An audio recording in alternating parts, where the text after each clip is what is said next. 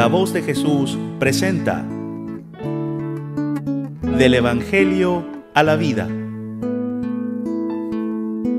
La paz esté contigo. En esta nueva entrega de tu programa, Del Evangelio a la vida, queremos hablar de el perdón ilimitado, un valor tremendo del Evangelio.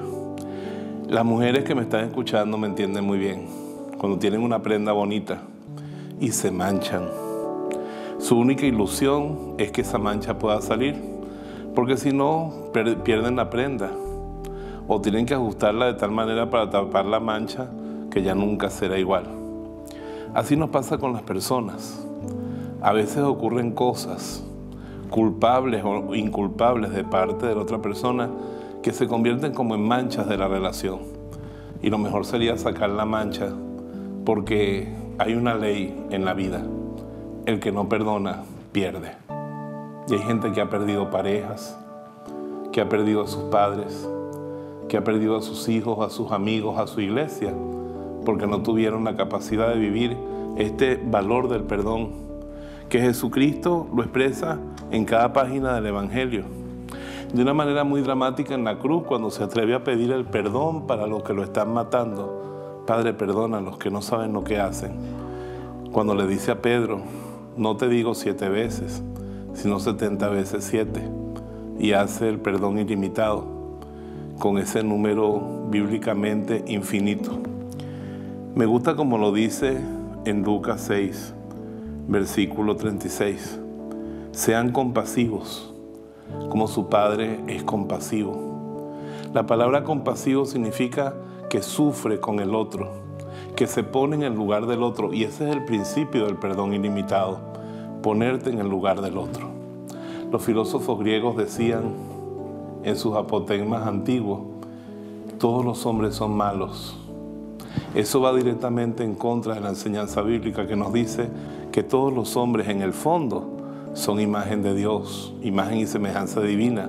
Por lo tanto, los hombres en el fondo son amor, pero a veces se equivocan o cometen traspiés y nos ofenden, nos hieren. Y Jesús nos dice, no juzguen y no serán juzgados. No condenen y no serán condenados. Perdonen y serán perdonados. Y Él, mismo nos, él nos manda poner la soga al cuello. Cuando cada vez que rezamos el Padre Nuestro, casi le decimos al Padre, perdóname en la medida en que yo he decidido perdonar.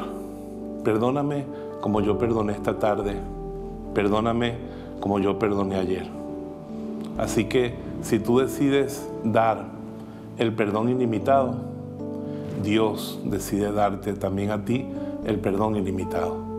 La medida de tu perdón es lo que aprovechas del infinito perdón de Dios para ti. Tuvieron un gran problema para traducir la Biblia al esquimal. ¿Usted se imagina lo que es traducir la Biblia para los esquimales? Tener que poner la palabra camello entre los esquimales. ¿Y cuando han visto los esquimales un camello? Tienen que hacer una combinación alemana de varias palabras. Animal cuadrúpedo que cruza el desierto con mucha facilidad, consume poca agua y tiene dos jorobas. Asimismo, para traducir la palabra perdón, no había ninguna palabra en esquimal. Y tuvieron que hacer una combinación de estas palabras. Obrar con respecto a algo como si nunca hubiera pasado. Ese es el perdón. Y llegar a decidir yo sentir con respecto a algo como si nunca hubiera ocurrido. Ese es el perdón difícil. No te voy a negar que para que el perdón sea posible hacen falta dos ingredientes fundamentales. La gracia de Dios y el tiempo.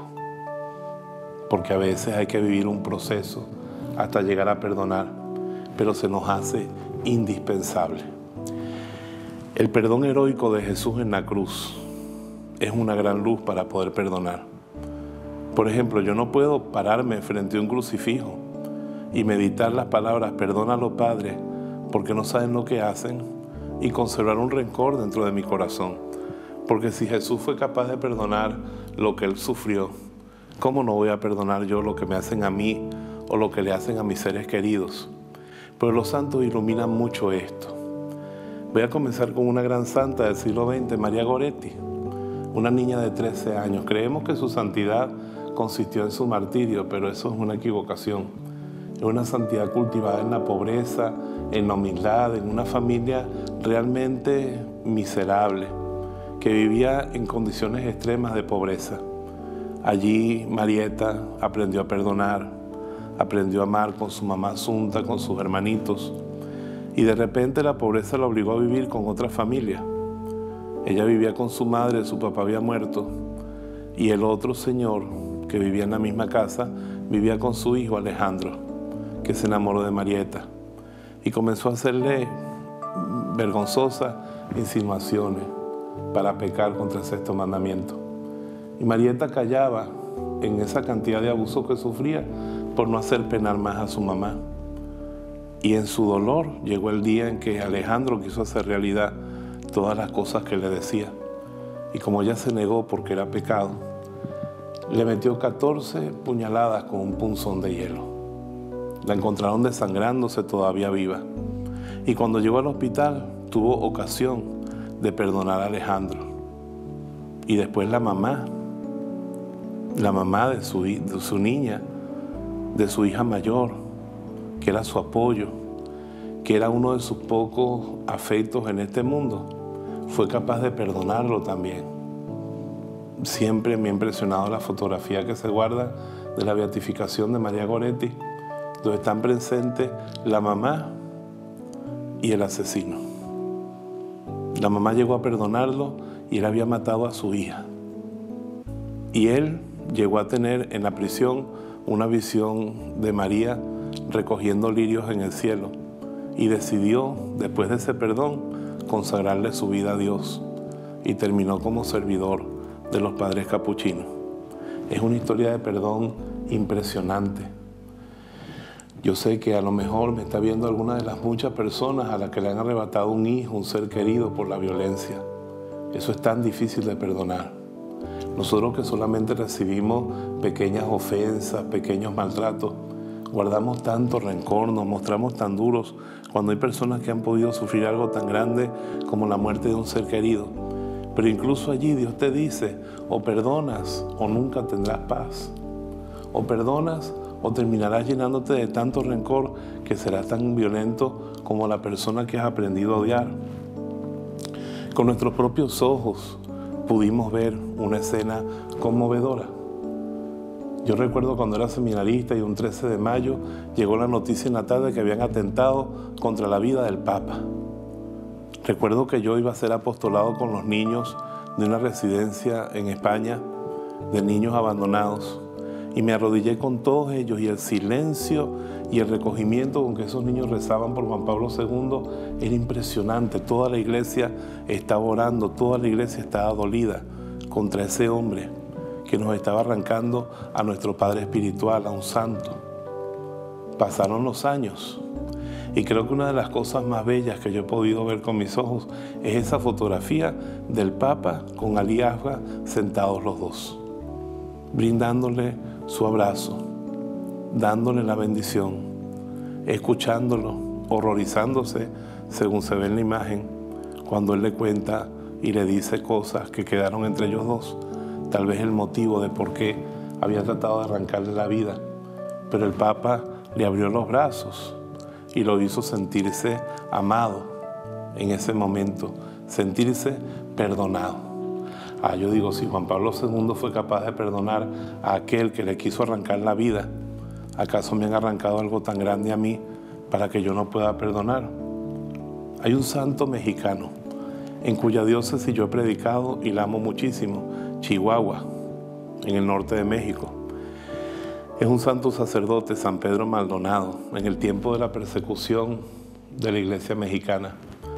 El obispo lo mandaba fuera de México para que cuidara su vida. Él salía de México a Estados Unidos y se devolvía. Y cuando el obispo lo encontraba trabajando, le decía, no te mandé a México, eh, de que salías de México.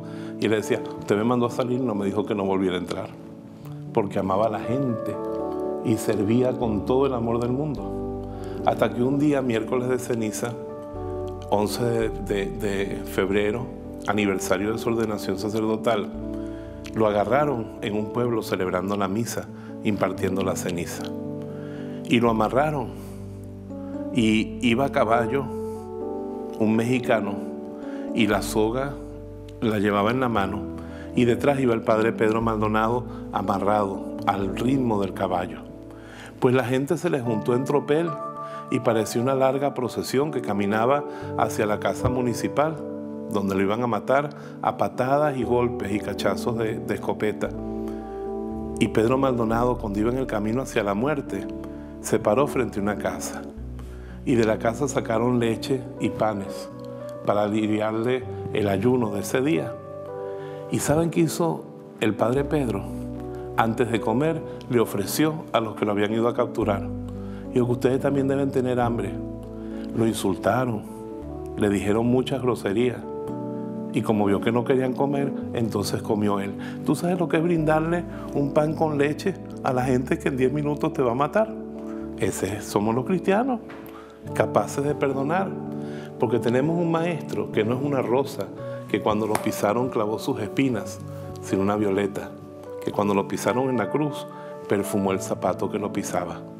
En unos instantes volvemos con este tema del perdón, difícil, pero con Dios y con el tiempo posible y altamente liberador, porque el que perdona deja el pasado atrás y tiene un futuro por delante.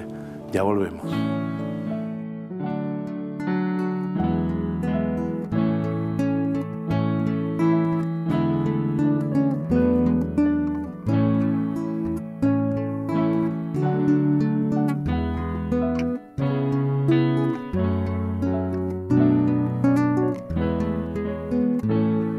Ya regresamos con Del Evangelio a la vida